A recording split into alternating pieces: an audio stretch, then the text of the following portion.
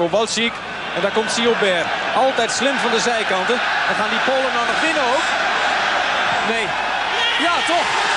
Jacek Siobert troeft Hans van Breukelen af. En zo grijpen de Polen drie minuten voor tijd waarschijnlijk de winst. Heel even leek het erop alsof hij de bal te ver van zich af zou laten springen. Maar over Van Breukelen heen, terwijl ook Kosetski vrij stond voor de goal...